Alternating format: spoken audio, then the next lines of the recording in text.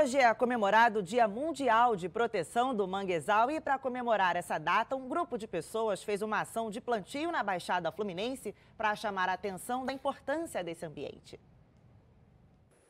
Os manguezais são zonas de transição entre o ambiente marinho e terrestre. São considerados berçários naturais procurados pela fauna aquática no período de reprodução. Quando você olha o manguezal, você precisa imaginar que aquilo dali está funcionando, aquela floresta está funcionando como se fosse uma maternidade, um supermercado da zona costeira, onde os animais se reproduzem, se alimentam, se abrigam. O manguezal da região metropolitana do Rio de Janeiro foi um dos ecossistemas que mais sofreu com o crescimento urbano.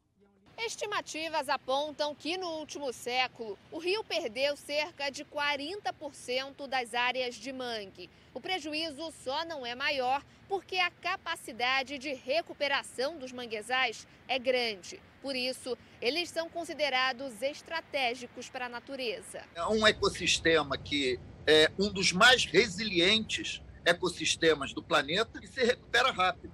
Exemplo disso é o projeto que foi desenvolvido no canal do Fundão de 2010 a 2012, que além de recuperar, criou 130 mil metros quadrados de manguezais. Nesta segunda-feira, Dia Mundial de Proteção aos Manguezais, uma ação de plantio foi feita em Duque de Caxias, na Baixada Fluminense, para chamar a atenção da importância de preservação dos mangues. Atualmente, um grupo de 10 pessoas trabalha em uma área de mais de um milhão de metros quadrados em Caxias, justamente para preservar a área. Eles construíram uma barreira física para impedir que o lixo dos rios Iguaçu e Sarapuí chegue à Baía de Guanabara e assim atinja os manguezais.